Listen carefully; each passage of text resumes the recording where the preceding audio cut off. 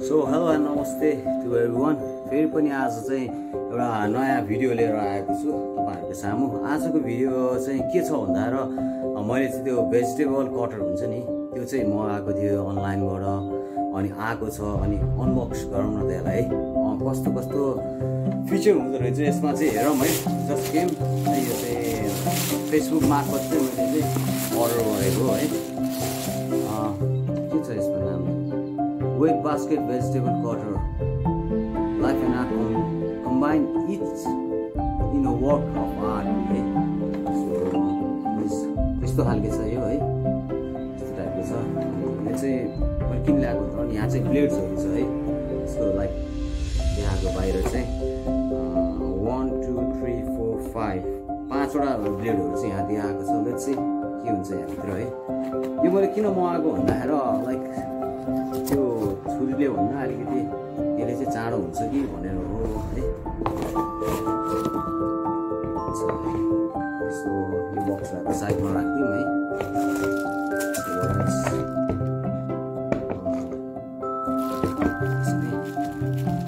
अनि यसमा चाहिँ ब्लेड पाउँदो रहेछ ब्लेडहरू है जुन चाहिँ तास्ने खालको हुन्छ नि।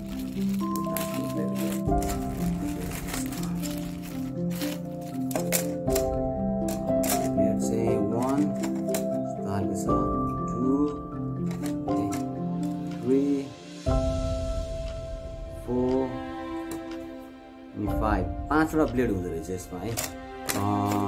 जसले चाहिँ डिफ्रेन्ट डिफ्रेन्ट तरिकाले चाहिँ काट्छ। यो चाहिँ मुलाहरूको लागि चनाहरू सटसट गर्नको लागि हुन्छ होइन अरू चाहिँ यो मसिनो बनाउनको लागि एकदम सजिलो सो यो छ एउटा चाहिँ। यो के को लागि भन्दाखेरि यो ब्लेड आर पनि हुँदो रहेछ। आलु आलु छिल्ने कुरा है। यो चाहिँ सच्च छ। अनि दिस इज युजफुल फर आलुलाई चाहिँ यहाँभित्र राखेर चाहिँ यसरी यो ब्लेडमाथि घोर्दाएर चाहिँ सेफ्टी अलिकति हात काट्न सक्छ ब्लेडले। सो द्याट्स वाइ यसले चाहिँ सिम्पल हुन्छ भनेर यो एउटा दिँदो रहेछ भनौँ न। भाँडा चाहिँ यस्तो टाइपको हुँदो रहेछ लाइक दिस है। यहाँ चाहिँ तपाईँहरूले यहाँ चाहिँ टमाटर केही फलफुलहरू राख्नुभयो पानीमा राख्नुभयो। सर यस्तो गऱ्यो है। सरी यो खसे। सर यस्तो गऱ्यो पानी तैरिन्छ यो है। फेरि सिधा गऱ्यो भने यो हुन्छ। अनि यो भाग चाहिँ के को लागि भन्दाखेरि यो चाहिँ ब्रेड राख्नको लागि। चाहिँ साइडमा राख्ने है यसरी राखेपछि चाहिँ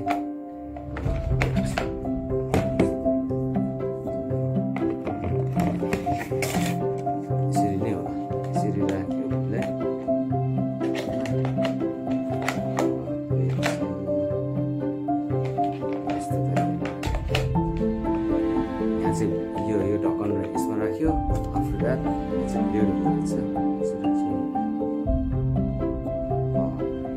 यो साइडमा टुप्पो हुँदो रहेछ एउटा अलिकति है दुई साइडमा लकको। यसलाई चाहिँ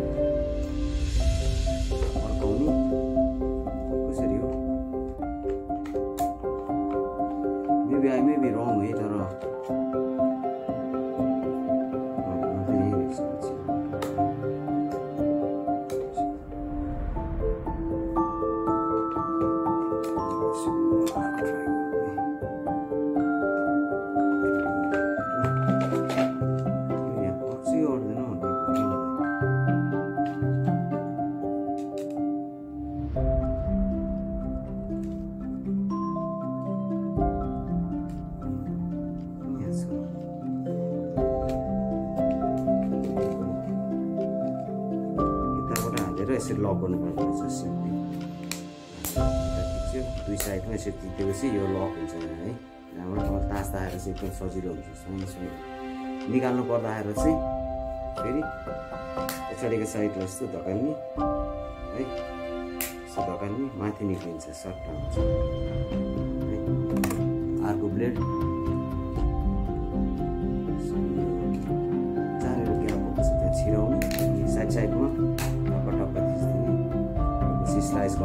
एकदम सजिलो किन भन्दा मसँग फेरि त्यो हाम्रो बारीको पेसा छ पेसा काट्नुको लागि चाहिँ मैले खास गरेर मगाएको एनिवे सबै कुराहरू राम्रो लाग्यो अब हेरौँ यसले कतिको लङ टर्मसम्म धान्छ अब I think maybe it's from China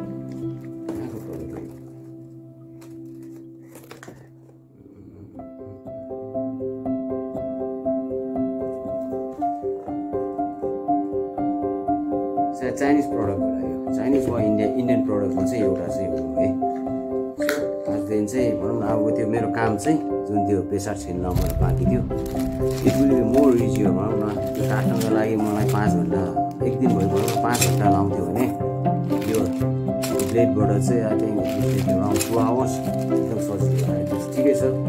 कस्टमरको उस्तो ठिकै छ।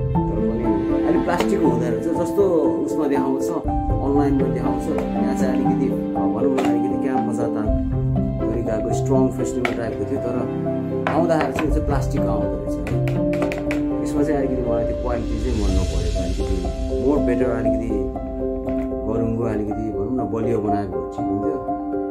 सानो बलियो प्लास्टिक हो र ह्यान्डल विथ केयर गऱ्यो भने चाहिँ खप्छ। सामानलाई आफूले माया गऱ्यो भने आफूले चलाउने सामानले नै आफूलाई माया गर्छ। है। लागि चाहिँ भोलि चाहिँ छिल्ने बेलामा यसले कसरी उस गर्छ भनेर अहिले so you up in next video है। एनिवे सबैजनाले एकछिन भने नि हेरिदिनु भयो।